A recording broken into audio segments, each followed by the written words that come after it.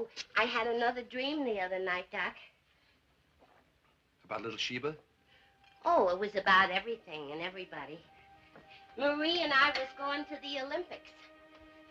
Only it was back in our old high school stadium. And there was thousands of people there. And Turk was out in the middle of the field throwing the javelin. And every time he'd throw it, the crowd would roar. Oh, and you know who the man in charge was? My father. but Turk kept changing into somebody else, so my father disqualified him. And then he had to sit on the sidelines. And guess who took his place, Daddy? You. you came trotting out on the field just as big as you please. Well, how'd I do, baby? Oh, fine, Daddy. You picked up the javelin, you know, like it was real heavy. But you threw it, Doc.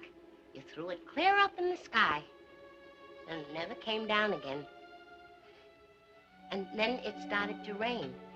And I was going nearly crazy because I couldn't find little Sheba. And there were so many people there, you know, I didn't know where to look for her. And you was waiting to take me home. So we walked and walked through the mud and the slush. And The people was all crowding around us. And then, this is the sad part, Daddy. All of a sudden, I saw a little Sheba. She was lying out in the middle of the field, dead. I felt terrible, Doc. Nobody else paid any attention. But I cried and cried. It made me feel awful that that sweet little puppy, her white fur all smeared with mud, and no one to stop and take care of her. Well, well, why couldn't you? I wanted to, Doc, but you wouldn't let me. You kept saying, we can't stay here, honey. We gotta go on. We gotta go on. Ain't that strange?